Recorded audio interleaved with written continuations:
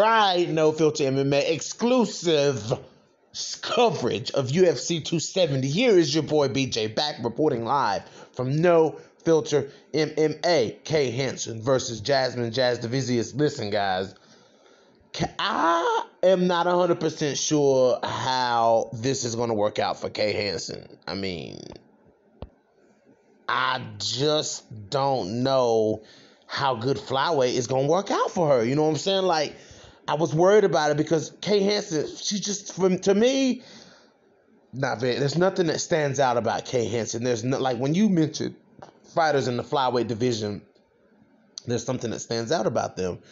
You know what I'm saying? When you mention Manon Fiorot, it's the striking. When you mention Casey O'Neill, it's the grappling. You know, when you mention Erin Blanchfield, it's the it's the the, the, the striking and the grappling. When you mention you know what I'm saying? Jillian Robertson, it's the submissions. Like, you know, Maycee Barber, it's the power. There's something about every one of these flyweights that really stands out. Kay Hansen, on the other hand, there's not there's really nothing about Kay Hansen that stands out. Her striking is mediocre, her grappling is mediocre, her power is mediocre. Everything about her is mediocre. So I really don't know where she goes in this in this division. I don't know where she goes in the UFC. She's lost two in a row. You know what I'm saying? And Jasmine Jazz Jasudavicius didn't really do anything. She didn't really do anything super exciting to Kay Hansen. You know what I'm saying? Like if Kay Hansen was in there with like a Jillian Robinson, that fight would have been over in the second round. Maybe even the first round. You know what I'm saying? Like, I mean, Jasmine, she didn't hit her too hard.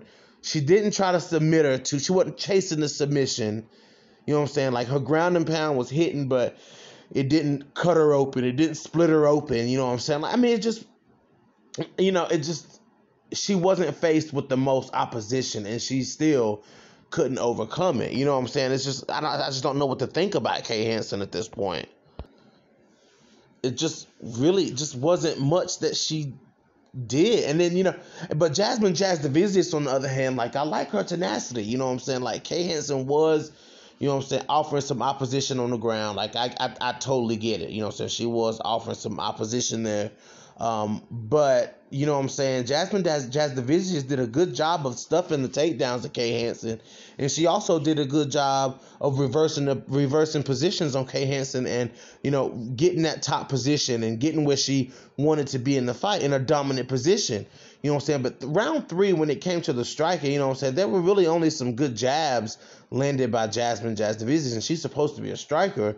You know what I'm saying? Like, there was only a few good jabs, you know what I'm saying, landed. You know what I'm saying? A couple of right hands, but nothing really spectacular. You know what I'm saying? I would say she lost the third round. You know what I'm saying? Because Kay Hansen was the one you know, throwing the more meaningful, you know, cleaner and effective strikes. It was coming from Kay Hansen.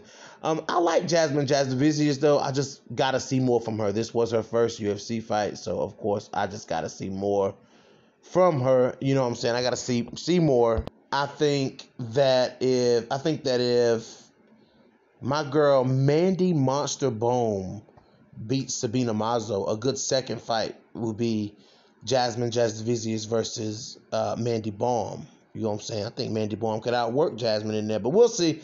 But anyways, guys, let me know how you feel about Jasudavicius being successful in her UFC debut. I see the dangers there in Jasmine. I do. I see the dangers. I see the potential there in the striking. And I see the grappling. Like I see it. I see it. I see it. She just gotta put it together. You know what I'm saying? She just gotta put it out there. But anyways. This is your boy BJ back to No Filter MMA. Drop those comments in the comment section. Hit that like, hit that dislike, and if you guys haven't already, hit that subscribe button. And your boy is out.